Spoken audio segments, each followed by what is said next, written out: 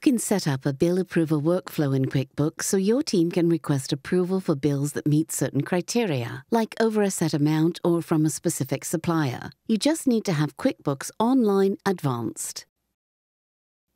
Let's go over how to set up users and rules that will work with bills, and then how to set up a bill approval workflow. Before you set up bill approval workflows, you should take a look at your team's rules and permissions. To learn more about how to set up users and roles, check out this video. With your users and rules set up, you're ready to create your bill approval workflow. Note that only admins can set up workflows. Select Workflow Automation and then Approvals. Select the Bill Multi-Condition Approval template. We'll call this workflow Bill Approvals. This workflow triggers when you or someone on your team creates or edits a bill.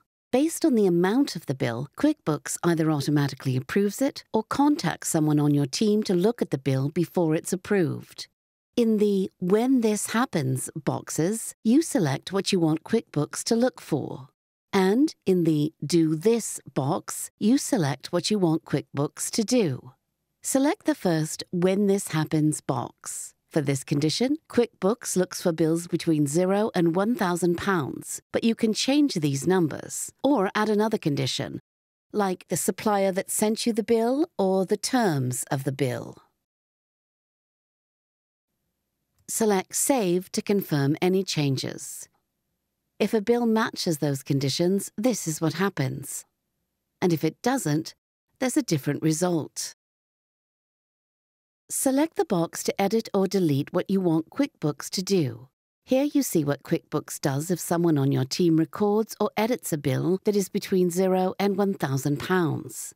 If you want someone to approve the bill, select their name from the list. This is the list of users you set up earlier with Bill Approver, Access, and Admins. Then, select how you want QuickBooks to notify them. Since these bills are lowest on the pound amount scale, let's just automatically approve them. Select Delete. Then, select Delete again to confirm.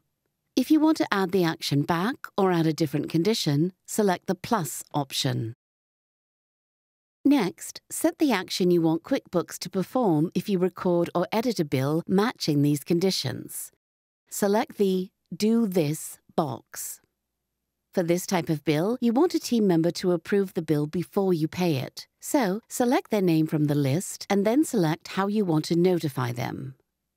Note that if you select email, you'll need to add their email address here, or else it will go to your business's email address by default. Select Save Email. Select Save. Make sure to assign someone from your team for any Do This box. You can't save the workflow if you leave any action empty. Note that you can only have one active bill approval workflow.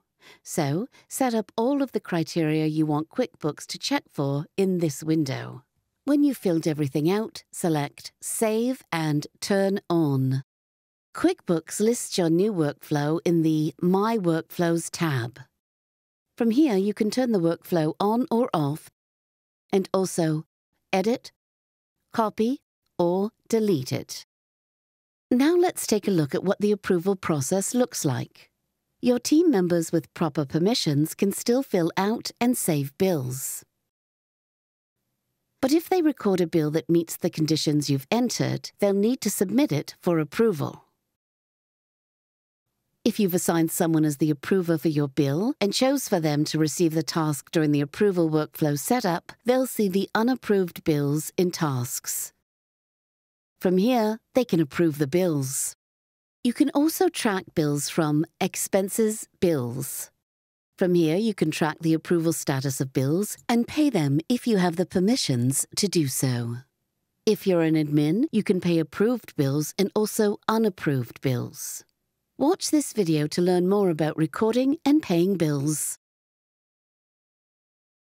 Now you're ready to set up your own bill approval workflow to help automate your work.